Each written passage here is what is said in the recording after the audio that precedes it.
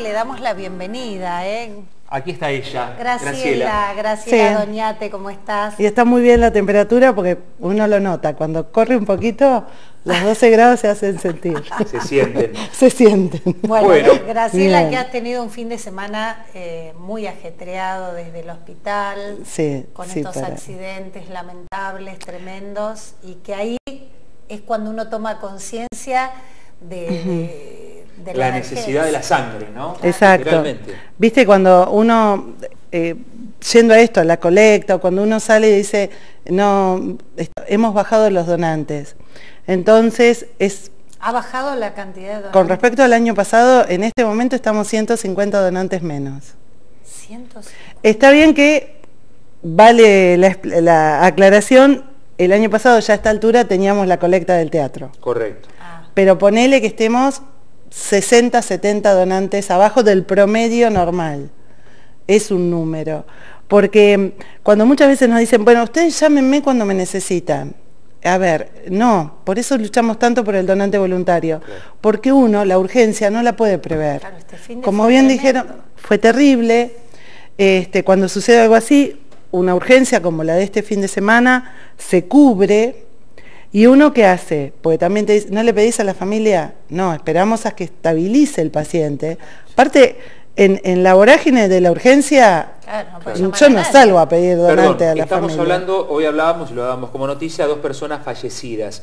Esas dos personas eh, fallecidas fueron atendidas en el hospital y obviamente intentó, se le intentó salvar la vida. Eh, consumieron, eh, digamos, sangre, obviamente. Sí, sangre. ¿Cómo, cómo fueron dos, cantidad? Fueron, bueno, uno de ellos, mm, lamentablemente, no llegó fallecido al hospital, si bien tengo, porque no era mi guardia, pero en la otra, eh, obviamente, uno lo, se hace todo por la vida de esa persona, este, hasta se llegó a intervenir, en lo cual, eh, cuando es un accidente tan traumático como fue este, el consumo es de sangre, de plasma. Vieron que yo siempre digo, la sangre se divide en sus componentes, bueno, eh, glóbulos rojos, plasma, se le todo porque era una situación grave. ¿Qué es eso lo que nosotros no podemos prever? Em, las guardias siempre decimos, yo le paso una guardia a un compañero, ¿cómo te fue? Bárbaro, no pasó nada, estuvo re tranquilo.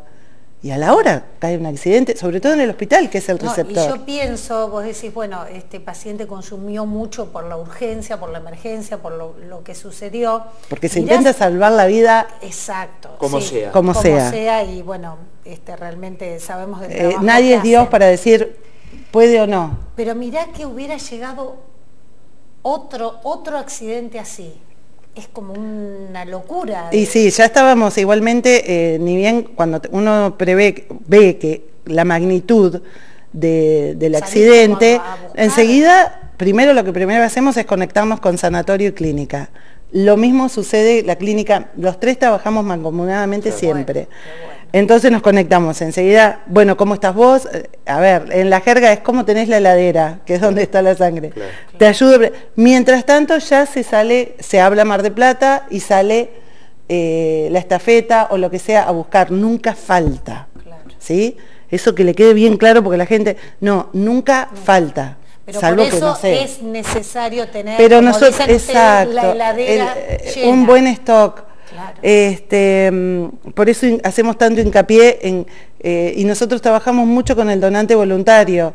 Las otras instituciones trabajan con el donante de reposición, este, pero nosotros con el voluntario, con el que se acerca.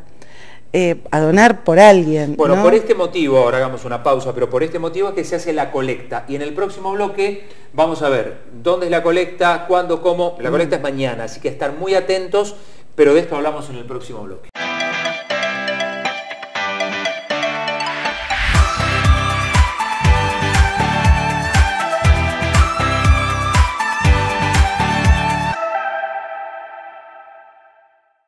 Seguimos charlando con Graciela Doñate porque, bueno, ya presentamos la situación, ahora este, hay que ir a donar sangre. Hay que ir a donar sangre. ¿Cuándo? Mañana está la famosa de teatro, que se suspendió, recuerdan, por el temporal. Sí. Mañana llueve, truene, desde ya, caigan piedra, la colecta se hace. Se hace igual. No va a llover hace igual. No, no, tranquila. Este, bueno, se necesita llenar Se necesita tener la heladera llena, sí. Este, uy, en esta época, en plena campaña, decía esa frase es media polémica. Pero. De sangre estamos hablando. De sangre estamos hablando. Hablando en la misma jerga que ustedes dicen que se llaman. Nada, se necesita. Este, mañana la colecta va a tener la misma temática que siempre, es de 8 a 12 en el Teatro del Fuerte. Este, va a estar eh, la gente de Jano para registro de donantes de médula ósea. Hoy un saludo muy grande a Alejandra Cluga este, que nos debe estar viendo. Este, y la gente, no me olvides, dando el desayuno. ¿sí? Este, lo de siempre, se puede desayunar, te mate café menos leche. Em, si se hizo tatuajes o piercing pasado un mes, un año, un, año. Un año. Ya, ella quiere llenarla toda costa Ya bajamos los tiempos a un mes. Pasado un año se puede donar. que tuvieron este, hepatitis. Antes de los 10 años de edad pueden donar.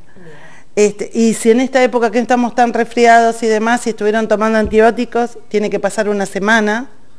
Y recuerden que la sangre es el remedio y nadie dona un remedio en mal estado.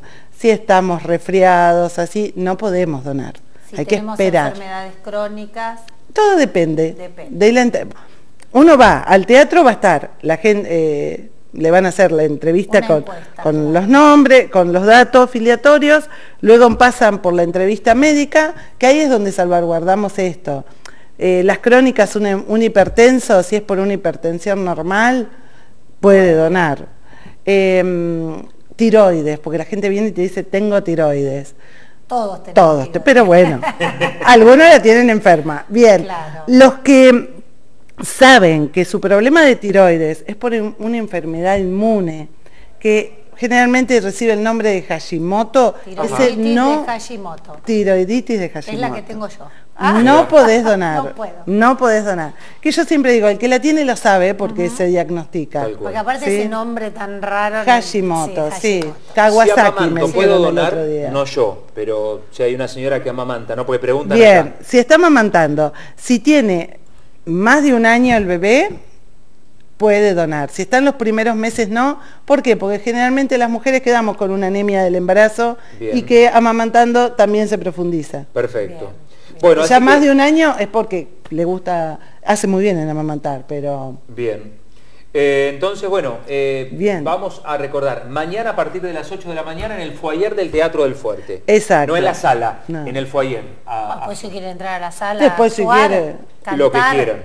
También. Pero la colecta es en el foyer. En el foyer, eh, en el foyer. Los esperamos por esto que le decimos.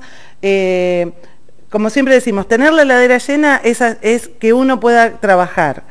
Eh, previendo y no convirtiendo, convirtiendo algo programado en una urgencia, como nos puede llegar a pasar. Tal cual. Exactamente. Graciela, muchas gracias. No, gracias a ustedes por estar siempre. Graciela Doñate, mañana a donar, ¿eh? todos a donar sangre ahí al Teatro del Fuerte.